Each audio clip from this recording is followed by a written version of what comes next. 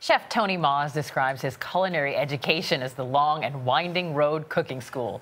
A winner of the James Beard Foundation Award for Best Chef Northeast, he's been called an idealist with a kitchen. And what comes out of his kitchen is certainly ideal. Make that kitchens plural since he now has two Boston area restaurants, Craigie on Main in Cambridge and the new Kirkland Tap and Trotter in nearby Somerville. We're delighted to welcome Chef Tony Maws to the dish. Tony, nice Thank to you. see you. Good to be here. What have you brought with you?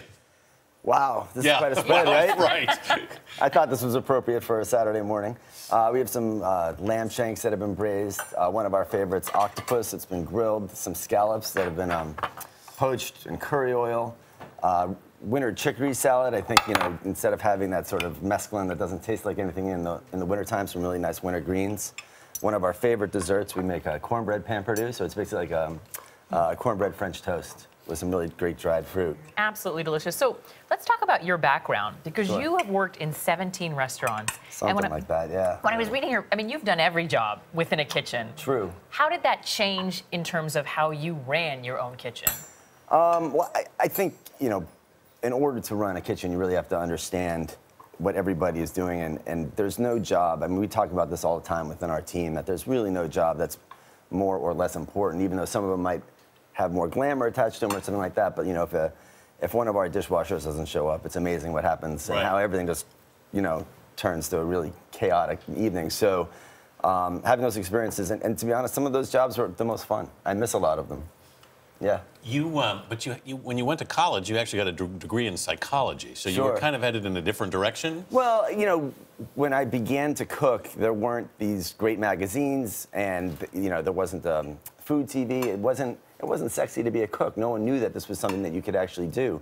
So I always thought that you know, cooking was something that I loved, and I thought that these jobs were things that I did just to make money to keep on doing other things. So and you, I didn't. you, would already fallen in love with cooking. Oh, by- absolutely. Yeah. But I didn't put two and two together until a little bit later that I could actually do this. And uh, and when we when I did figure it out, it, it's just been it's been a blast.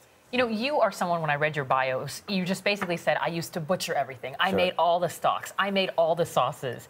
How has letting go some of those restraints helped you, or has it helped you to, to give it to other people? Um, I, you know, it's a little bit of both. I mean, there's always going to be a struggle. I think this is probably true of any business, of any entrepreneur, that once you begin um, assigning tasks that you've been doing for so long to other people, that you're gonna, you're gonna, first of all, get to watch other people grow, and that's that's great. I mean, that's, you know, a really fun part of the job. At the same time, I, I love to cook food. I mean, that's why I do this in the first place. So, trying to keep my hands in the pot, you know, no because pun at intended. Craigie on you know. Main, I mean, Yeah. you were three feet from the door. Whenever True. people came into that restaurant, they would see you. Absolutely, absolutely. Now I have to figure out which location I'm in, and that's, you know, that's part of growth.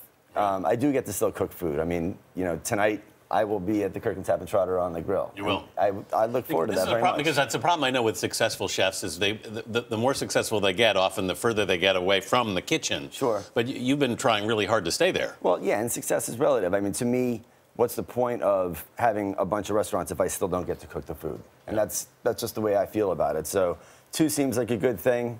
Um, it's you know, it's only been a few months of, of actually living the life of two restaurants, and I've probably put you know they're only a mile apart, but I've probably put more mileage in my car the past few months than you know I have in 10 years prior. But it's uh, it's been a great ride. Nowadays, so many chefs are doing tip to tail cooking, but a lot of people say that you were the pioneer of all that. Uh, you know, it's it's kind of funny when I hear that because people have been cooking this type of food for thousands of years. Right. You know, those same tips and those tails. So I think that, um, it- and and it's the same food that I you know would see in a pot simmering on my grandmother's stove. So to hear about it as either being trendy or cool or or even me being a pioneer seems kind of odd.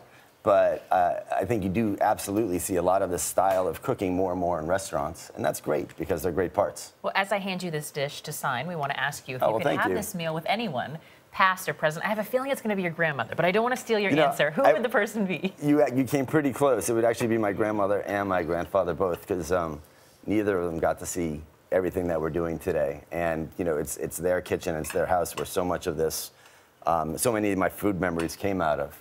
So if I could sit down with anybody, it would be it would be with them. Great, great, great two people to And I, you know, absolutely toast them. So Yes. there you go. Chef Cheers. Tony Maws. And Hey. for more on Chef Maws and the dish, head to our website at CBS This Morning.